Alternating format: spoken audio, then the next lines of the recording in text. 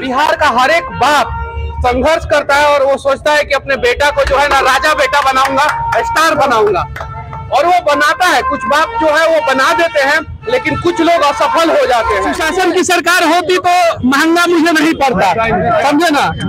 तो कहीं नहीं तो कहीं मैंने सही बोला था। नमस्कार मैं मणिभूषण शर्मा आप देख रहे हैं न्यूज़ फाउंडेशन नौ महीने जेल में रहने के बाद यूट्यूबर मनीष कश्यप जेल से बाहर आया है। और जेल से बाहर आते ही उन्होंने एक बार फिर से सरकार पर बड़ा हमला बोला है। कहा है कि सच्चाई के आवाज़ को कोई दबा नहीं सकता है। आपको बता दें कि जेल से निकलने के बाद पटना से आज घर जाने के क्रम में मुजफ्फरपुर के गोबरसही पहुँचे थे, जहाँ उन्होंने सबसे पहले मंदिर में आके पूजा अर्चना की, फिर बाद में पत्रकार के सवालों का जवाब देते हुए मनुष्य कश्यप ने कहा कि सरकार जो है वह सच्चाई की आवाज़ को दबा नहीं सकता है। पूरे मामले को लेकर क्या कुछ कह रहे हैं यूट्यूबर मनीष कश्यप? पहले आप आ, बिहार का हर एक कण कण पावन है और ये भूमि पे मैं पैदा हुआ हूँ। जिस दिन मैं इस भूमि पे पैदा हुआ और होश संभाला उसी दिन मुझे एहसास हो गया कि हमें संघर्ष करना है और नया इतिहास बनाना है। मुजफ्फरपुर जो आ, जिस रास्ते से मैं गुजरते रहता हूँ हमेशा मेरा घर से पटना जाने का रास्ता यही है। तो ये मेरे लिए हमेशा पावन भूमि रहा है और ऐसा नहीं है कि यही भूमि, भार, अब सिर्फ़ बिहार ही का नहीं, पूरे भारत का कण कण जो है, वहाँ पे राम बसते हैं, वहाँ पे सीता बसती है, वहाँ पे गुरु गोविंद सिंह बसते हैं, वहाँ पे दशरथ माझी बसते हैं तो ऐसे भूमि पे मैं पैदा हुआ हूँ तो मैं अपने आप को गौरवान्वित महसूस करता हूँ। समर्थकों का लाखों का हुजूम है।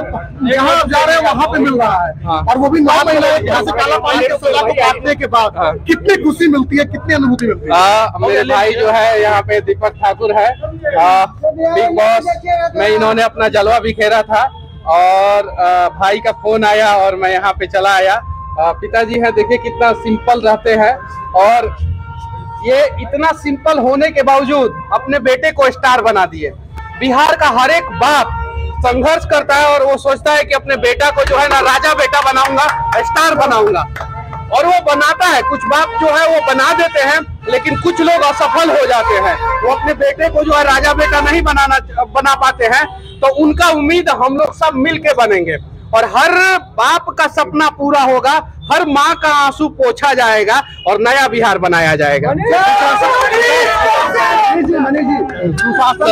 बोलना आपको महँगा पड़ा ये नहीं लग रहा है। सुशासन की सरकार होती तो महँगा मुझे नहीं पड़ता समझे ना? तो कहीं नहीं तो कहीं मैंने सही बोला था। तो जैसा कि आपने सुना कि पूरे मामले को लेकर क्या कुछ कह रहे थे मनीष कश्यप, वही आपको बता दें कि कल नौ महीने के बाद यूट्यूबर मनीष कश्यप जेल से बाहर रिहा हुए थे, जिसके बाद आज अपने घर जाने के क्रम में मुजफ्फरपुर पहुँचे हैं। वहीं रास्ते में जगह जगह उनका लोगों ने जमकर स्वागत किया है। वहीं मुजफ्फरपुर के गोबरसही चौक पर भी उनका भव्य तरीके से स्वागत किया गया, जिसके बाद उन्होंने मंदिर में उतर के पूजा अर्चना की है। वहीं उन्होंने मीडिया से बातचीत करते हुए कहा कि एक साधारण बाप का जो लड़का है, वह अपने लड़के को कामयाबी की ओर बढ़ता देखता है और यही हमारा मकसद है कि बिहार का हर एक युवा सशक्त हो। मुजफ्फरपुर से न्यूज़ फाउंडेशन के लिए मणिभूषण शर्मा की रिपोर्ट।